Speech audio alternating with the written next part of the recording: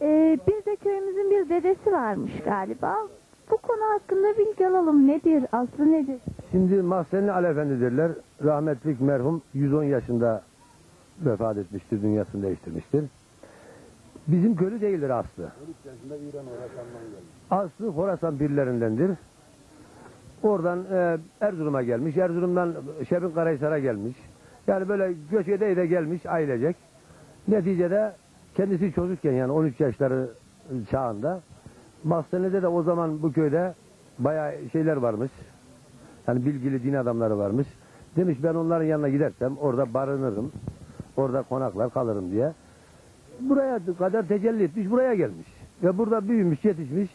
Ve bu köy ona sahip çıkmış. Kendisi yetiştirmiş gibi bağrına basmış. O rahmetli de burada kendisini köye adamış. Ve okumuş. Çok okumuş ki alim olmuş. Yani muhterem bir zattı. Bazı mucizeleri vardır. Ne gibi mucizeleri var mesela? Misal olarak 1974'te Kıbrıs Savaşı'nda o zamanın pilotları köyümüze gelmiştir. Şöyle anlatayım. E, Belirli uçağın bir gitme gelme süresi vardır savaş uçaklarının. Menzili vardır. Orada adam uçakta meydana gelmiş. Onlar geri dönüyor pilot. İki tane pilot var jette. Diyor ki geri dönmeyeceksiniz falan hedefi bombalayacaksınız. Adam bakıyor başında bir adam konuşuyor tepesinde. Hayır dede sen kimsin diyor. Evlat diyor benim dediğim yeri bombala benzinin ikmal edildi. Yahu diyor baba nasıl olur havada. Sen yap diyor ben Mahsenli Ali Efendi'yim. Adamlar neticede aynı hedefi bombalıyorlar. Yani başarıya ulaşıyorlar. Bunlar tekrar piste geldiklerinde Eskişehir'e adamlar diyor ki bu insan kim biz araştıracağız. Mutlaka bunun bir aslı vardır. Mahsenli Ali Efendi. Tabi Mahsenli Türkiye'de belki bir tanedir yani. Haritadan buluyorlar artık, soruşturuyorlar. Kırşehir'de diye söyleyince Kırşehir'den daha basit bulunuyor. Ve geldiler buraya kurban kestiler. Adamın ziyaretine geldiler birkaç defa. Türbesi var mı burada? Türbesi var. Çevreden ziyarete gelirler. Hatta Erzurum'dan, Kars'tan, uzak illerden bile gelenler olur yani. Niye gelirler? Yani şimdi şöyle söyleyeyim. Hatta buraya e, Ali Efendi'nin ziyaretine gelen bir kişinin çocuğu olmasa çocuğu da olur yani. Ziyarete gelir. Adak eder. Der ki Ya Rabbil Alemin Ali Efendi'nin yüzü su hürmetine bana bir çocuk bağışla. Yani çocuğu da olur. O zaman e, köyden de bayağı giden var mı? Şimdi köyümüz her gün iç içeyiz ya. Tabii ki oluyor gitmez olmaz yani mutlaka. Yani köyün dileklerini, isteklerini falan da istiyor musunuz? Öyle bir şey de olmadı şimdiye kadar. Eskiden olmuşsa bilmiyorum vallahi. Şimdiye kadar ne? şey öldü bir tane ölün olmadı buradan. Şeyde şarttan. Anarşikten. Bir tanesi asker. Askerlerimizden. Hiçbiri. Bütün Adref köylerin askerleri gelip buraya ziyaretler gider giderken askere. Benden konuşuyorum.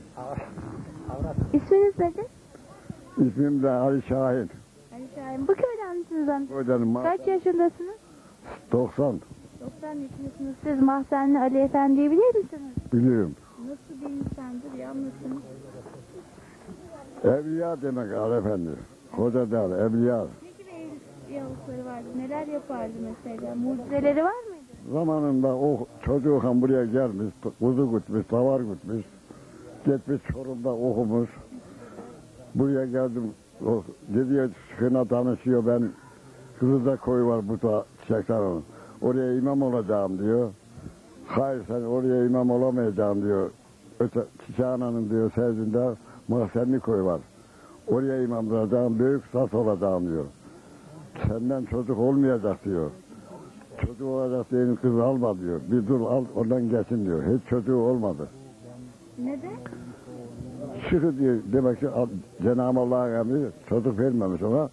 Çocuğu olsa doğuşacak, bağışacak. Bu mezhebiye eremeyeceğim diyor. Mezhebiye ereceğim bu büyük sat olacağım diyor. Büyük sat oldu burada kaldı. 110 yaşında vefat etti. Siz gördünüz mü kendisini? Tabii. Beş, öldükten sonra da 5 sene sonra da açtık mezarını. Burada bizim bir pevliyan vardı. Pevliyanın rüyasına gidiyor. Şurasına bir taş düşüyor. Oğlum şu taş beni rahatsız ediyor diyor. Şu taşı alın üstünden diyor. Doğun yarındayken üç gün devam ediyor Pevliyan'a. Bizimde bir hasip vardı. Vaaz ediyor Cuma'da. İn aşağı dedi in. Ve senin vaazını dinleyin dedi. Yasada evliyanın dedi üstünde taş var. Pehlivan mı dedi vaazda? Ha. Pevliyan dedi o hocaya. Aşağı, minberden aşağı in dedi. Pevliyanın sözünü tuttular. Mezarı açtı kendi yolu Pevliyan. Açtı. O taşı oradan çıkarttı. Düşmüş mü gerçekten taş orası? Hı? Taş var mıymış peki? Taşı çıkarttı. Ben yanındayım. Şuradan da iki kerpiç üfelenmiş. Buradan da o kerpiçi attık. Yatırdık baktık. Bizim burada bir Zübeyir var. O Zübeyir aşağı indi. Böylece yürüladı.